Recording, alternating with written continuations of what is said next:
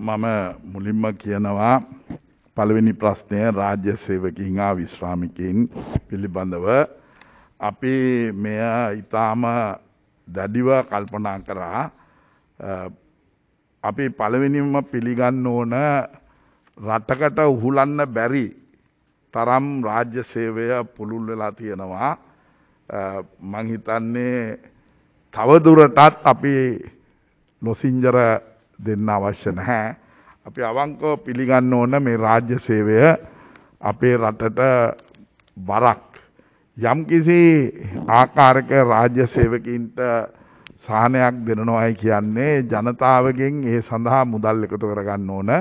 රජයකට මුදල් ලබා ගන්න ක්‍රමය තමයි මහජනතාවගෙන් ඒක ලබාගෙන තවත් පිරිසකට දෙන්න. මම පැහැදිලිව කියන්න ඕන මොනම ආකාරයකින්වත් තව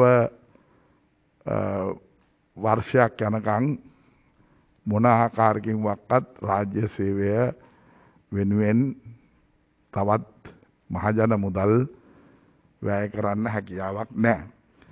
එනමුත් රාජ්‍ය සේවකින්ගේ ප්‍රධාන වශයෙන් මුල්‍යමය ප්‍රතිපාදන එතරම් නොයන ආකාරයේ සහන විශේෂයෙන්ම අපි දන්නවා සමහර රාජ්‍ය සේවකයින් අවුරුදු 45ට වගේ කාලයක් තමයි රාජ්‍ය සේවයට එන්නේ. ඔවුන් අවුරුදු 55 දී විශ්‍රාම යනකොට අවුරුදු 10ක් විශ්‍රාම වැටුපක් ලැබුණත් මම හිතන්නේ අපේ දැන් රටේ තියෙන සෞඛ්‍යමය පැත්තෙන් ඇති වෙලා තියෙන දියුණුව උඩ අපේ පරමායුෂ කාලය වැඩි වෙලා තියෙනවා. ඒ උඩ අපි අවුරුදු 10කින් රාජ්‍ය සේවකින්ගේ සේවා කාලය දීර්ඝ කරලා තියෙනවා. ඒක බලන්න උන්ගේ වැටුප මාස 12ක් අවුරුද්දකට වැඩ කරලා ඒක අවුරුදු 10කින් වැඩ කරොත් මොනතරම් ලාභයක් රාජ්‍ය සේවකින්ට ලැබෙනවද කියලා.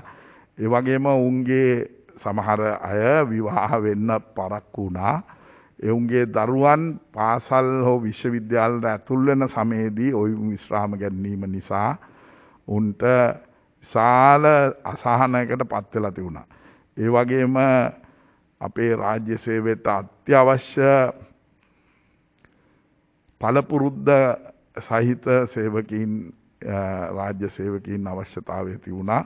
ඒක නිසා අපි ඒ ආකාරයෙන්ුත් ඒ වගේම තවත් ක්‍රමවේදයන් කීපයකින් රාජ්‍ය සේවකින්ට සහන සැලසීමට අපි ක්‍රියා කරලා තියෙනවා. නමුත් අපි නැවත වාරයක් වගකීමකින් කියනවා මේ රාජ්‍ය සේවකින්ගේ සංඛ්‍යාව පුළුල් කරන්න අපිට පුළුවන් කමක් නැහැ. නමුත් මේ විශ්‍රාම යන සංඛ්‍යාව අනුව වාර්ෂිකව සේවක සංඛ්‍යාව වැඩි කර ගැනීමට තරුණ පිරිස ඇතුළු කර ගැනීමට අපි කටයුතු කරනවා.